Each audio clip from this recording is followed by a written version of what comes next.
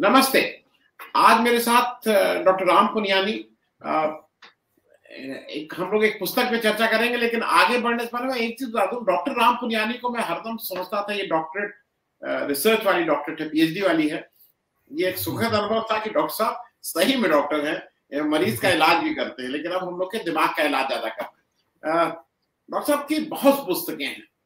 उसमें से एक पुस्तक जो बहुत ही मतलब मैं छोटी इन द सेंस की वो एक कुल एक सौ सत्ताईस पृष्ठ की है। हर पृष्ठ अपने में पर्याप्त है और वो है हिंसा, सांप्रदायिकता, मिथक और यथार्थ। जो बहुत सी चीज़ें हमारे आसपास घूमती रहती हैं जिसमें हमें लगता है कि नहीं नहीं, ये ऐसे था। उसको डॉक्टर साहब ने बहुत ही सरल शब्दों में और हिस्टोरिकल एविडेंस के साथ एड्रेस किया है। मैं ये मान रहा हूँ कि जिसके जितने सब्जेक्ट्स हैं, उसको ग्यारह चैप्टर्स में बांटा गया है, लेकिन मेरे ख्याल में हर विषय अपने में एक पूर्ण किताब के लायक है। तो गागर में सागर भरने की कोशिश की गई है।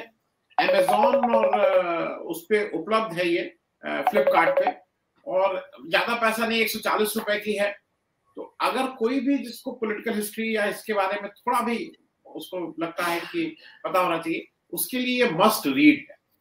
तो डॉक्टर साहब मैं इसलिए आपसे चैप्टर वाइज चल रहा हूँ कि पूरा तो नहीं संभव है लेकिन कुछ कुछ चैप्टर के वो करूँगा।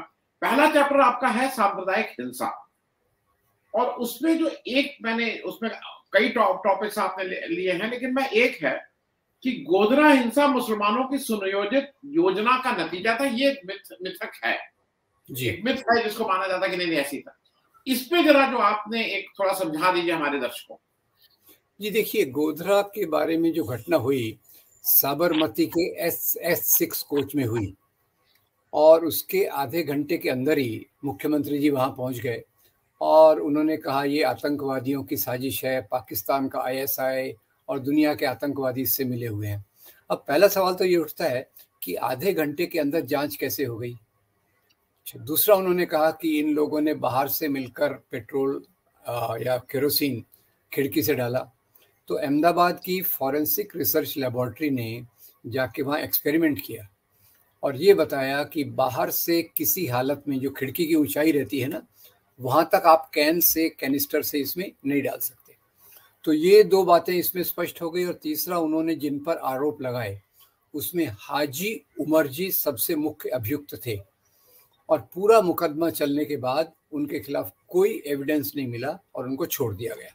तो ये अब बैनर्जी कमीशन ने कहा, जो बाद में लालू प्रसाद यादव जब रेलवे मंत्री बने तो बैनर्जी कमीशन ने कहा कि भाई ये एक एक्सीडेंट था।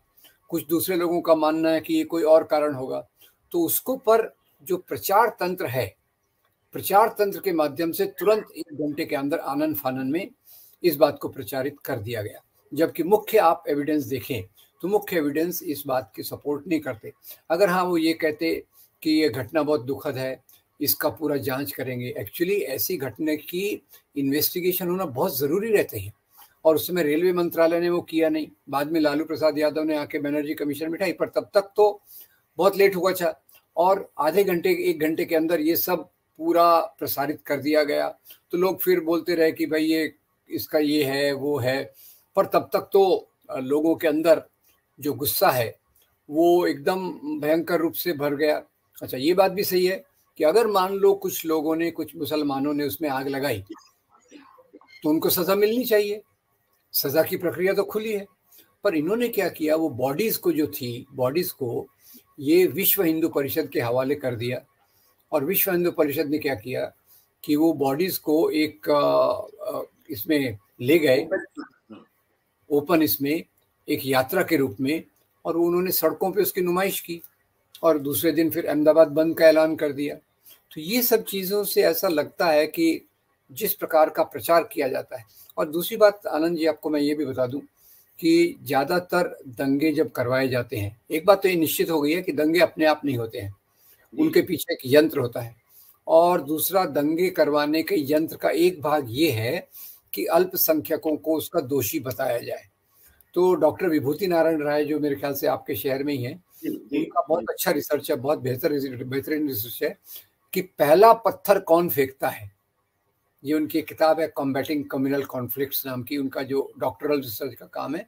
तो उसमें बताते हैं कि कई बार अल्पसंख्यक को घेरा जाता है, इस परिस्थिति में लाया जाता है कि उनके उनके पास पत्थर फेंकने के सिवा कोई उपाय नहीं रहता। पर जहाँ तक गोधरा की आपने बात कही, गोधरा में तीनों थेरीज रही हैं।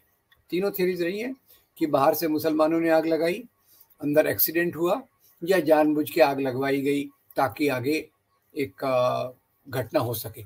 तो उसमें उसको मैंने एक समराइज करके इसमें तीन चार एविडेंस बताए और सबसे मुख्य उसमें जो है फॉरेंसिक साइंस लेबोरेटरी अहमदाबाद की रिपोर्ट जी आ, दूसरा अध्याय है अल्पसंख्यकों के संबंध में गलत फहमिया। मैं तीसरे अध्याय से एक वो ले रहा हूँ क्योंकि ये इतने डिटेल हैं कि हम लोग कोशिश करेंगे कि आगे आने वाले समय में कहीं एक सीरीज़ करें लेकिन उससे पहले अध्याय तीन में है राजाओं के बीच संध्या और युद्ध। उसमें आपने एक कहा है कि हिंदू और मुस्लिम राजाओं की लड़ाइयों का मूल कारण था धर्म। और इस मिथक को आपने तोड़ा जरा इस पे थोड़ा सा एक बता देते देखिए, ये जो राजाओं की लड़ाइयों के बारे में वैसे तो राजा को धर्म के चश्मे से देखने की ये जो प्रथा है, ये अंग्रेज़ों ने यहाँ लाई। और उस उन्होंने अठारह सौ सत्तावन के बाद इस इस सोच को मज़बूत किया। और अठारह सौ सत्तावन को हम जाते हैं। एक तरफ़ बहादुर शाह ज़फ़र हैं एक तरफ़ मंगल पांडे हैं एक तरफ़ झांसी की रानी है एक तरफ़ नाना साहब टोपे यानी हिंदू मुसलमान मिलकर लड़ते थे। और वहाँ उन्होंने अंग्रेज़ों ने देखा कि भारत में अगर फूट डालना है तो ये हिंदू मुसलमान के आधार पर फूट डालना सबसे बेहतरीन रहेगा। और इसके लिए उन्होंने राजाओं को उनके धर्म से जोड़ दिया। तो जो राजाओं की लड़ाई होती थी, जैसे मैं एक उदाहरण बहुत कॉमनली देता हूँ, अकबर और राणा प्रताप। अब राजस्थान में भाजपा सरकार आई, उन्होंने किताब में बदल दिया कि हल्दी घाटी में जो लड़ाई हुई थी, उसमें अकबर हार गए, राणा प्रताप जीत गए। अब ये क्यों किया उन्होंने, ये पता नहीं। पर दूसरी बात यह है कि इस लड़ाई को ज़्यादातर हिंदू मुसलमान की लड़ाई के रूप में देखा जाता है। मैं आपको जानकारी दे दूँ आनंद जी कि इसमें अकबर खुद आए ही नहीं थे हल्दी घाटी के मैदान में और उनकी सेना का नेतृत्व कर रहे थे राजा मान सिंह। और इधर आप देखिए तो महाराणा प्रताप के दो बड़े सेनापति थे, तीन हज़ार की फौज थी, दो बड़े सेनापति थे। एक सेनापति राम सिंह, दूसरे हकीम खान सूर, जो पठान सैनिक उनके राणा प्रताप के साथ थे। तो ये हिंदू मुसलमान की लड़ाई का तो सवाल ही नहीं उठता था, ये सवाल था ओहदे का। यानी राणा प्रताप जी दस दस हजारी का अहदा चाहते थे, ये उनको पाँच हजारी का अहदा दे रहे थे। और उनके साथ जो ज़्यादा निगोसिएशन किए, वो राजा टोडरमल ने किए, राजा मान सिंह ने किए, कोई उसमें हिंदू मुसलमान का एंगल बिल्कुल भी नहीं था। ये मैं बताना चाहता हूँ इसमें। जो मैं फिर आ रहा हूँ अध्याय चार में, भारत में इस्लाम है, अध्याय पाँच, भारत की मिली जुली संस्कृति। मैं अध्याय छह पे सीधे आ जा रहा हूँ। और निवेशक काल में आपने एक पॉइंट किया है रेज और जो बहुत जगह कहा जाता है मिथ है काफ़ी गांधी ने मुसलमानों का तुष्टिकरण किया, किया। जी, ये बार बार रोज़मर्रा के उसमें आप नेरेटिव देखते होंगे। इस पे जो आप एक बार थोड़ी थोड़ा दृष्टि डाल देते हैं। जी देखिए अब गांधी ने जो मुसलमानों का तुष्टिकरण किया मुख्य रूप से ये तुष्टिकरण का कोई सवाल नहीं था। सवाल था मुसलमानों को आज़ादी के आंदोलन से जोड़ना। और वो जो सबसे पहले उन्होंने खिलाफत आंदोलन में उनका साथ दिया, उनके पीछे बहुत सारी कारण होंगे। और मुख्य कारण ये था कि मुसलमान जो अभी तक 1920 में उन्होंने भाग लिया, पर ज़्यादा पैमाने पर ये हिंदू मुस्लिम एकता की शुरुआत हो सके, इसलिए गांधी ने वो किया। और जहाँ तक तुष्टिकरण का सवाल है, गांधी एक निष्पक्ष रूप से दोनों तबकों को साथ में लेकर चलते थे। और ये भी याद रखिए कि जो मुसलमानों के बड़े तबके के लीडर थे, मुस्लिम लीग वाले, यानी बाद में चलकर जिन्ना हो गए, सूरावर्दी हो गए और उनके बड़े नेता हो गए, वो कभी, वो सबसे ज़्यादा आलोचना गांधी की करते थे। और जो मुख्य मुसलमान लीडर थे, मौलाना अब्दुल कलाम आज़ाद, खान अब्दुल गफ्फार खान और अल्लाह बख्श वगैरह, ये तो गांधी की नीतियों पे चलते थे। तो सवाल यहाँ हिंदू मुसलमान का था ही नहीं, क्योंकि गांधी ने हर समय कहा कि धर्म और राष्ट्रीयता को नहीं जोड़ना चाहिए। आपका धर्म, आप पालन कीजिए, मेरा धर्म, मैं पालन करूँगा। पर एक भारतीय राष्ट्र के रूप में हम सब बराबर के नागरिक हैं। तो उन्होंने मतलब एक स्थान दिया। उन्होंने गांधी ने ये सब सब धर्म के लोगों को स्थान दिया। मुसलमानों को अकेले को नहीं दिया। हिंदू तो है ही। पर उन्होंने ये भी कहा कि मुसलमान भी यहाँ उतनी संख्या में, बड़ी संख्या में है, वो भी आज़ादी। तो उसी को ये तुष्टिकरण कहते हैं। क्योंकि अठारह की मैं एक आपको बात बता दूँ अठारह सौ पचासी में कांग्रेस बनी। कांग्रेस के बनने के बाद जो हिंदू राष्ट्रवादी तत्व थे उन्होंने कांग्रेस की आलोचना की कि आप मुसलमानों को कांग्रेस में क्यों ले रहे हैं? ये लाला लालचंद अठारह में एक अपनी किताब में लिखते हैं। तो ये हिंदू राष्ट्रवादी चाहते थे कि भारतीय राष्ट्रीय कांग्रेस में राष्ट्रीय आंदोलन में मुसलमान न रहें। मुसलमानों के जोड़ने को ये उसका तुष्टिकरण कहते हैं। और किसी भी स्टेज पे गांधी ने किसी धर्म का, किसी धर्म के लोगों का पक्ष नहीं लिया, वो नोआखाली के दंगे हो, कलकत्ता के बड़ा ग्रेट किलिंग हो हो, या उसके बाद दिल्ली में जो सब कुछ हुआ, गांधी ने एक निष्पक्ष रूप से, निष्पक्ष अच्छा अब वो उसमें ये जोड़ देते हैं कि गांधी ने आग्रह किया कि आप पचपन करोड़ पाकिस्तान को दे दो अभी गांधी खजाने में से दे दो, अपने खजाने से देने की बात नहीं की। उन्होंने कहा, भाई, हमारी जो रिज़र्व बैंक में संपत्ति है अब दो देश बन रहे हैं तो जो पाकिस्तान के हिस्से का है, वो अब पाकिस्तान में देना चाहिए। और उसमें कोई अपना पैसा नहीं था। ये संयुक्त पैसा था तो लोग रोक क्यों रहे थे? उस समय कश्मीर का विवाद चालू हो गया। कश्मीर का विवाद अलग था। कश्मीर का इससे कोई संबंध नहीं था। क्योंकि उस समय जब पाकिस्तान की फौज पहली बार पाकिस्तान गई कश्मीर गई तो उस समय कश्मीर एक स्वतंत्र राज्य था। महाराजा हरि सिंह ने भारत में मिलने से इनकार कर दिया था। वो एक स्वतंत्र राज्य था। तो लोग कह रहे थे, उन्होंने कश्मीर पे आक्रमण किया, आप पचपन करोड़ मत दो। गांधी ने कहा, ये तो नैतिकता के खिलाफ है। आज हम अपने वादे के खिलाफ जाएँगे तो कल चलकर दुनिया के लोग भारत को किस दृष्टि से देखेंगे? एक। और दूसरा, क्या ये हमारी नैतिकता हमको परमिट करती है कि हम दूसरे का पैसा किसी और शर्त पे के कारण रोक दें? तो उन्होंने आग्रह किया था। इसके अलावा इसको उन्होंने कंडीशन नहीं रखी। कई लोग कहते हैं कि उन्होंने शर्त रखी कि पचपन करोड़ देना ही चाहिए। उन्होंने अपनी राय दी थी क्योंकि वो तो सरकार में थे नहीं। सरकार से हमेशा बाहर रहे। उन्होंने अपनी राय रखी और देश के नेताओं ने भी उनके तर्क को स्वीकार करके आ, उनकी बात को माना। इसी के वो तुष्टिकरण कहते हैं। अभी जो फ़िल्में आती हैं इनकी इनकी फ़िल्मों में यही बताने की कोशिश करते हैं कि महात्मा गांधी ने ये नहीं किया वो नहीं किया। इन्होंने खुद क्या किया? उसका कोई उल्लेख नहीं है। तो सवाल यह है कि गांधी एक बहुत नैतिक व्यक्ति थे अहिंसा को मानते थे तो इसलिए उन्होंने सब कम्युनिटीज को साथ में लिया और साथ में लेने को ये तुष्टिकरण कहते हैं। जी, जी। मैं अध्याय सेवन जो है भारतीय राष्ट्रवाद है उसमें बहुत है उसमें आरएसएस के बहुत है मैं उसको स्किप कर रहा हूँ। मैं कश्मीर मसला अध्याय आठ चैप्टर एट और उसमें कई टॉपिक्स उसमें एक है पंडितों का पलायन यह दिखाता है कि कश्मीर समस्या हिंदू मुस्लिम मसला है। इस मिथ को भी आपने पे रोशनी डाली है। थोड़ा इस पे हम लोग चर्चा करना देखिए ये कश्मीरों का कश्मीरी पंडितों का पलायन ये तो बड़ा बहुत गरम गरम टॉपिक रहा है। तो उसमें ये मुख्य बात ये है कि कश्मीरियत जिसको हम कहते हैं वो हिंदू मुसलमान का मामला नहीं है ये मिली जुली सभ्यता का मामला है। कश्मीरियत में तीन चीज़ों का ये है ये संगम है। एक तो बुद्ध धर्म की परंपरा, दूसरे वेदांत के सिद्धांत और तीसरा सूफी संत की शिक्षाएँ। ये तीन के मिलके कश्मीरियत बनती है। अब जो कश्मीर का सवाल हुआ कि जब हमने अपनी फौज भेजी, आर्टिकल 370 आर्टिकल 35 ए, ये लगाया, ट्रीटी ऑफ़ एक्सेशन हुई, और उसके बाद क्या हुआ कि यहाँ जब सांप्रदायिकता का प्रभाव बढ़ने लग गया तो उस सांप्रदायिकता के प्रभाव के कारण एक तरफ़ तो महात्मा गांधी की हत्या हुई, श्यामा प्रसाद मुखर्जी, जो उस समय भारतीय जनसंघ, यानी भारतीय जनता पार्टी का पुराना अवतार, उन्होंने कहा कि कश्मीर को पूरा मिला लो। अब ट्रीटी ऑफ़ एक्सेशन क्यों की गई थी? कि भाई हम हम कश्मीर को अभी मदद करेंगे, फिर कश्मीर के लोगों की राय लेंगे, कश्मीर के लोगों को मनाएँगे। और नेहरू का यही कहना था कि कश्मीर के लोगों का दिल जीतना ज़रूरी है, ज़बरदस्ती से मिलाना ये हमारा कोई तरीका नहीं होना चाहिए। तो अब हुआ क्या 1990 के 80 के दशक में वो जो अलकायदा टाइप एलिमेंट्स हैं, अब जब ऑटोनॉमी के क्लॉजेस उनके स्वायत्तता के चीज़ों को समाप्त किया जाने लग गया, तब कश्मीर में असंतोष बढ़ा। और शुरू में ये असंतोष हिंदू मुसलमान के आधार पे नहीं था।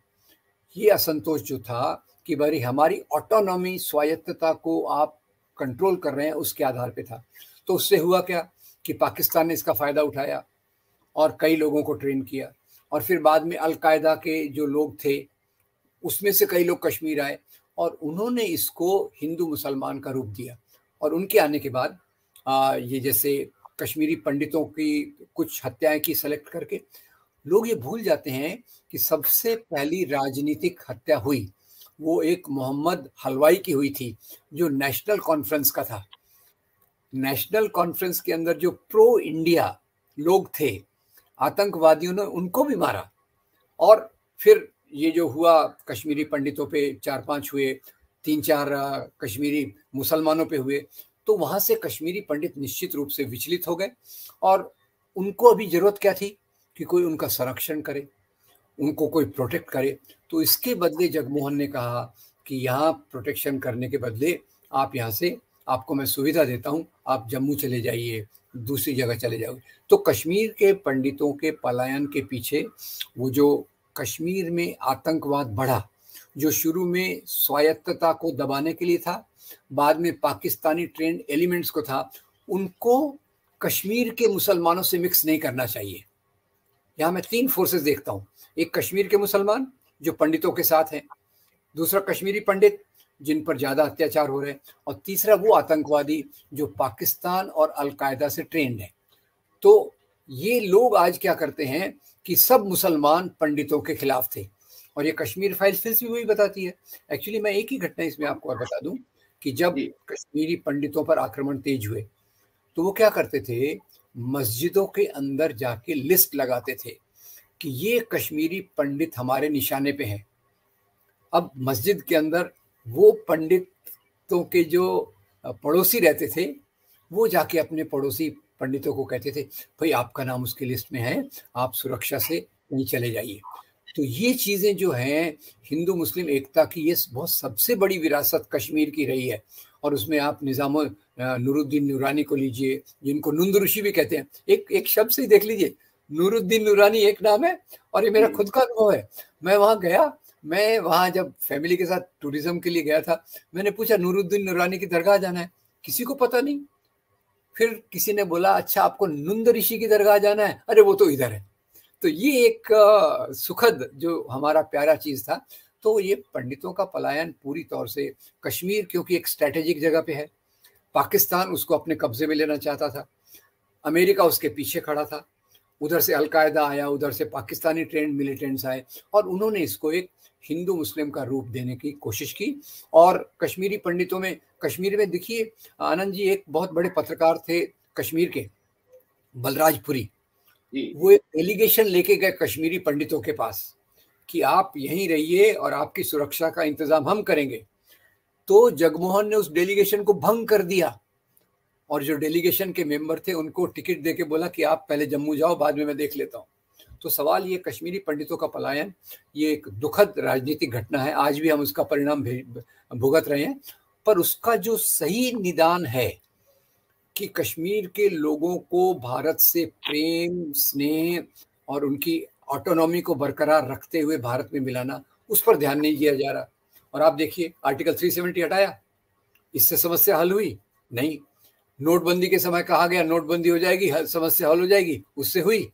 तो ये सवाल है कि बीमारी कहीं है और इलाज कहीं और किया जा रहा है। जी जी जी। मैं चैप्टर नाइन्थ है, वैश्विक आतंकवाद टेंथ है, वर्तमान समय में सांप्रदायिकता और इलेवेंथ है, शांति का मार्ग। मैं, चूँकि समय की एक बाध्यता है और इसलिए मैं चैप्टर नाइन का एक इम्पोर्टेंट ये इसलिए है कि ये बहुत रोज, ये रोज बोला जाता है कि सभी मुसलमान आतंकवादी नहीं है, लेकिन सभी आतंकवादी मुसलमान है, ये बहुत कॉमन फ्रेज है। जो बहुत बहुत लूजली यूज़ किया जाता है। इस पे क्योंकि इस पे जरा आपकी एक राय समझना चाहेंगे। देखिए ये जो ये जो पूरा पॉपुलर किया गया लोकप्रिय बनाया गया nine eleven two thousand one ग्यारह सितंबर 2001 के बाद अमेरिकन मीडिया ने इस्लाम को टेररिज्म से जोड़ा। वैसे आपको बताऊँ आतंकवाद जो होता है अपने राजनीतिक स्वार्थ के लिए निहत्थे लोगों पर आक्रमण। ये प्रक्रिया पहले भी थी। अगर आप देखिए तो रशिया में नैरोडनिक्स थे इसराइल पैलेस्टाइन में भी थे, श्रीलंका में एलटीटी थे। अब बताइए एलटीटी वालों का धर्म क्या था? हिंदू है। तो यहाँ मैं तीन एक सीक्वेंस बनाता हूँ। महात्मा गांधी की हत्या करने वाला नाथुराम गोडसे इंदिरा गांधी की हत्या करने वाला सिख बॉडीगार्ड राजीव गांधी की हत्या करने वाली धानू नाम की लड़की। और उन्नीस सौ अट्ठावन में श्रीलंका के प्रधानमंत्री एस डब्ल्यू बंदार नायकी की हत्या एक बुद्ध भिक्खु ने की थी। और 2006 या 2012 में नॉर्वे में एंडर्स बर्लिंग ब्रेविक ने छियासी नौजवानों को अपनी मशीन गन से उड़ा दिया। वो आरएसएस के विचारों से प्रभावित था एक्चुअली तो ठीक है तो ये दूसरी बात है कि आतंकवाद एक राजनीतिक प्रक्रिया है और इसको धर्म से जो जोड़ा है, वो अमेरिकन प्रोपोगेंडा ने 9/11 के बाद जोड़ा है। सारांश में मैं इतना कह सकता हूँ कि अमेरिका ने अलकायदा को खाद पानी दिया। अमेरिका ने 8000 मिलियन डॉलर खर्चा किए और उन्होंने अमेरिकन मीडिया ने 9/11 होने के बाद इस्लामिक टेररिज्म शब्द ये पहली बार आया। आनंद जी इस बात को अब जरा ख्याल करेंगे। पहले किसी धर्म को आतंकवाद से नहीं जोड़ा गया था। आयरिश रिपब्लिकन आर्मी को क्रिश्चियनिटी से नहीं जोड़ा गया। लिट्टे को हिंदू धर्म से नहीं जोड़ा गया। ठीक है? पर इसको क्यों जोड़ा गया? ये एक वैश्विक जो प्रभाव है अमेरिकन मीडिया का, उसके कारण मुसलमानों को, इस्लाम को आतंकवाद से जोड़ा गया और वो इतने कैंसर के रूप में वो विचार फैले हैं कि उसका मुकाबला करना बहुत मुश्किल है। मुश्किल है मतलब कोशिश हमने, इस पर भी कई सारे वीडियोस और भी हैं मेरे, कश्मीर पे भी हैं। अगर आपको कोई मिले तो आप अपने डिस्क्रिप्शन में उसकी लिंक डाल सकते हैं। आतंकवाद पे भी हैं कि आतंकवाद के क्या क्या कारण होते हैं। बड़े विस्तार में मैंने उसको डील करने की कोशिश की है। जी जी। मैं डॉक्टर राम की साइट पे भी जाइए तो वो बिल्कुल खजाना है, लेकिन इस पुस्तक बहुत पतली सी है, लेकिन मैं इसलिए आग्रह कर रहा हूँ आप लोगों से जो जो हिंदुस्तान की पॉलिटिक्स को समझना चाहते हैं, जो हिंदुस्तान के इतिहास को समझना चाहते हैं, जो इंसानियत को समझना चाहते हैं, जो धर्म को समझना चाहते हैं, उनके लिए अगर इसको आप पढ़ लेंगे तो आपकी क्लैरिटी हो जाएगी। उसके बाद आप अपनी रिसर्च और करिए, क्योंकि ये रास्ता दिखा देते हैं, बहुत सी किताबों के रेफरेंसेस बताते हैं कि आप इस किताब को और पढ़ के आप अपना हो सकते हैं। बहुत बहुत धन्यवाद डॉक्टर साहब ज्वाइन करने के लिए। आ, हम आगे भी आपको थोड़ा तकलीफ़ देते रहेंगे इस तरह की कुछ कुछ बातें समझने के लिए आपसे। Thank you so much thank you thank you मुझे बहुत खुशी होगी।